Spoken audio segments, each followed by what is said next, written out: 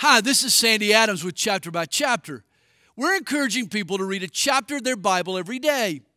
This is chapter 8 of the book of Hebrews. We hope you'll read the whole chapter. The temple was the center of Judaism. Jews the world over rejoiced to make the pilgrimage to worship at the temple. Grand and glorious, the temple was the source of Jewish pride. What a jolt to the Jews for Jesus when they were barred from the temple precincts. Jesus was their priest, but what is a priest without a temple? Hebrews chapter 8 tells us Christ is not without a temple.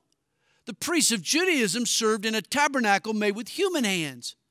Jesus serves in the temple in the heavens. The temple blueprints God gave Moses were actually a small scale model of heaven itself. The Levites served in the replica, Jesus serves in the real thing.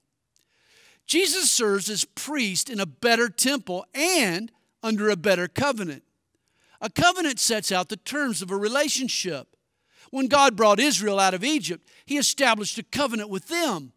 Before Jesus went to the cross to bring His people out of sin, He established a new and better covenant with us.